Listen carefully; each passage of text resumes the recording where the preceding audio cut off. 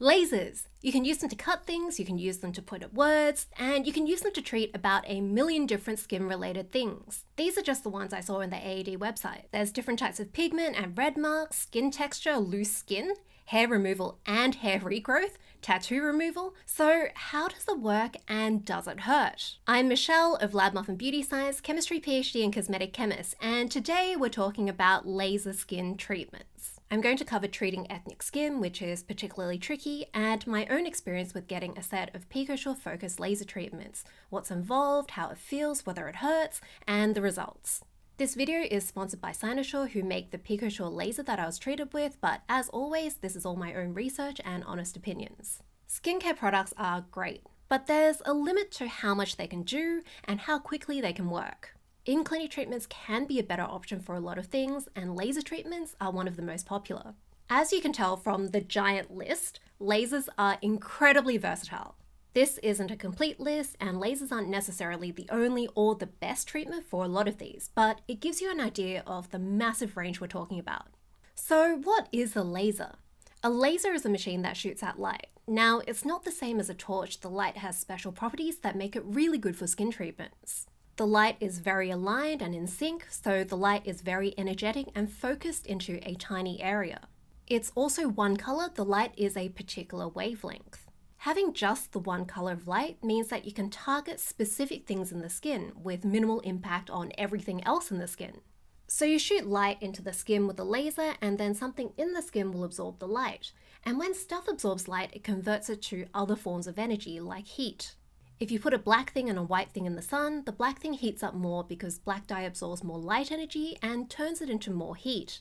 Different things absorb different wavelengths of light. So if you shoot a particular wavelength of light into the skin, a particular color of light that melanin pigment absorbs but other things don't really, then that means the melanin pigment gets blasted but other things in your skin don't. They have minimal damage. And most lasers work pretty much like different colored things in the sun. The melanin heats up while the rest of your skin stays mostly cool.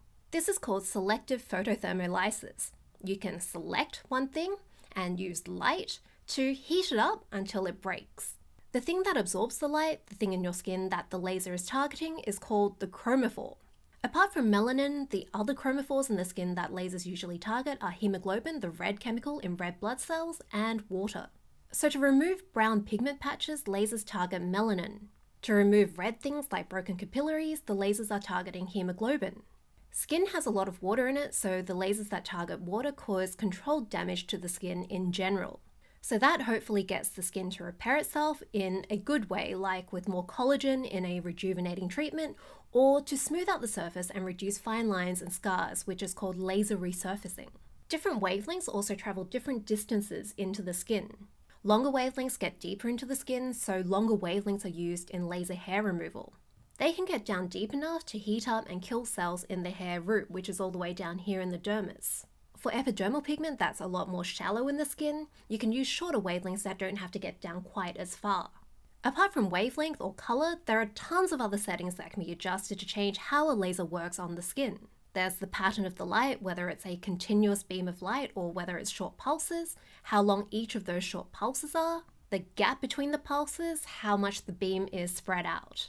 And having so many options means that laser results will depend a lot on the skills of the person who's using the laser on you. That's why it's really important to research properly before booking into a laser treatment. That also means there is this massive range of how intense laser treatments are. I think a lot of us, including me, get a bit scared when we think about laser treatments. We think about lightsabers and laser eye surgery and pictures of people with scabby red skin hiding in the dark for a week after their treatment. And yes, this is one form of laser treatment. This is called ablative laser, which means that it purposely damages the top layer of skin in a controlled way. And this can give really dramatic results. That's why people are willing to put up with a week of being scabby, and it can take months to finish healing. But now we also have much gentler laser treatments that don't have this long downtime, and they're also less risky, especially for people with darker skin. One of the biggest problems with laser treatments when it comes to people with Asian skin like mine, or Mediterranean skin, or darker, so most people in the world, is that our skin responds to trauma by producing pigment. This is called post inflammatory hyperpigmentation, or PIH. So, if you're using a laser to try to blast away pigment, which we often are because uneven pigmentation is one of the main ways our skin ages, there is a big risk of causing so much trauma that you make more pigment form which is the exact opposite of what you want to happen. You don't want to blast away a patch of pigment and get the same patch back or an even bigger patch. This is called rebound pigmentation, and it used to be a massive risk for people with darker skin when they had more aggressive treatments like laser. But there's been newer lasers developed that can treat darker skin effectively with a much lower risk of getting that rebound pigment. One of the most popular lasers is the PicoSure Focus, which is the machine that I was treated with at Neutral Bay Dermatology. The PicoSure Focus has two special features. Firstly, there is a really short pulse duration, which means it fires really short blasts of light into the skin. The pico part refers to picoseconds, which is how short these blasts of light are. Each one lasts less than one billionth of a second, and that means there isn't really much time for heat to build up and damage the surrounding bits of skin and trigger that rebound pigment. It's kind of like when you take something really hot out of the microwave and you're too lazy to get a towel. If you go fast enough and you don't touch it for too long, then there's not enough time for heat to build up and give you a burn. It also turns out that having these really short laser pulses means it works a bit differently in your skin. Traditional lasers mostly work by heating up the pigment until it breaks up. But with picosecond lasers, the light turns into sound instead of heat, and the pressure waves from the sound mechanically shatters the pigment particles. So you can get really effective breaking up of the pigment without the same amount of heat and that risk of rebound pigment. These pressure waves also have a skin rejuvenating effect, so they stimulate collagen and elastin in the dermis, and that means you can get plumper skin and smoothing out of fine lines and wrinkles and shallow scarring. And because melanin is what's turning the light into pressure, it actually works better on melanated skin. This picosecond laser technology was actually first developed for tattoo removal, and it's only really become popular for skin treatments in the last five years or so. It's really cool because it's made it a lot easier for skin clinics to treat ethnic skin more effectively and more safely. The other special feature of the PicoSure laser is the focused lens array, which is a fractionating head. What this means is that it splits up the laser beam into lots of little concentrated dots. So instead of treating one big patch of skin, you're treating lots of little columns of skin. Again, this means the heat builds up less. If we go back to the analogy of taking hot stuff out of the microwave when you're lazy, it's like how you try to hold it with little spread out claws so that there's lots of space for the heat to dissipate. This also means that you can deliver a lot more power safely. So there's 20 times the amount of power compared to the original PicoSure. So it makes it more effective while also being safer. And so all of this means that the PicoSure Focus is really good for treating ethnic skin. Before the treatment, you'll still have to avoid tanning, both real and fake, because it'll get in the way of the laser. But you don't have to avoid harsh skincare for quite as long. I only had to stop using chemical exfoliants and retinoids for a couple of days. For more intense treatments, you might need to stop using them for a few weeks, plus you also might need to avoid some medications like ibuprofen that can cause bruising. Now, during the treatment, the PicoSure treatment is really gentle and painless as far as lasers go. Now, I am a massive wuss when it comes to laser treatments. The doctors and nurses at Neutral Bay Dermatology were really lovely and they reassured me that most people don't feel much. They offered me numbing cream anyway, and I took it because I figured I'd rather have it and not need it than chicken out in the middle. Here I am looking like The Weeknd, waiting for it to set in. If you go for the cream, you'll have to turn up about half an hour early. They also blow cold air onto your face during the treatment, and that numbs your face as well as reducing the risk of damage. With all of this numbing and cold air, the laser felt like a tiny little rubber band snapping gently against my skin, snapping a bit harder in places where I had pigment. The laser felt a lot more annoying than actually painful, and I found that with the nurse talking to me the whole time to distract me, it was very bearable, and the treatment was over really quickly. It only takes about 10 minutes. The snapping sound that you can hear is actually the pigment breaking up. I tried the laser on my not numb hand later and it felt fine, so I think I didn't really need the cream.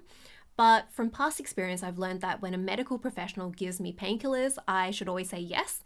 So base it on your own pain tolerance. Obviously, after the treatment, my face was still super numb. If you go in without any numbing, it feels like a slight sunburn. They gave me two ice packs to hold on my face for 10 minutes to soothe the skin and reduce the chance of swelling. Now, probably the coolest thing about the Pico PicoSure is that you have virtually zero downtime. So, in other words, you can face the world and do all your usual things pretty much immediately. There's no flaking or peeling or scabbing. Your skin might look a little bit redder afterwards, but it should go away after a couple of hours. My skin looked completely normal. You could barely tell I had anything done. At this stage, you might also see that your pigment is actually a bit darker, and that's because the pigment is more spread out from all of that shattering. The pigment might get darker for the next 24 hours, and then over the next one to two weeks, the pigment will actually travel up and shed along with your normal skin cells, which are turning over. In terms of results, the PicoSure is also quite fast. You should see pretty significant changes after the first treatment, but usually for dealing with pigment and texture and sun damage, it takes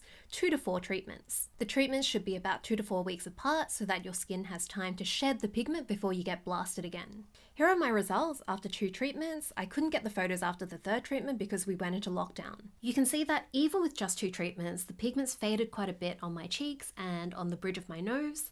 It's a bit harder to see, but the pores and texture are also a lot softer. The PicoSure is the most popular picosecond laser, so it's been used effectively on millions of people around the world. There's a lot of research around it, there are lots of clinical trials using the PicoSure, and you'll be able to find lots of before and after photos. I'm going to be honest with you, I was pretty hesitant to get these laser treatments at first because I am just so pathetic when it comes to painful skin treatments. I've turned down quite a few free laser treatments before because I was just so worried about the pain. But my experience with the PicoSure was really good. It was way gentler than I thought laser could actually be. It's definitely changed my mind about laser treatments and I would happily do it again, which is not something I thought I would ever say about laser. So I hope you learned something from this video, like and subscribe if you like skincare and science, and click the notification bell.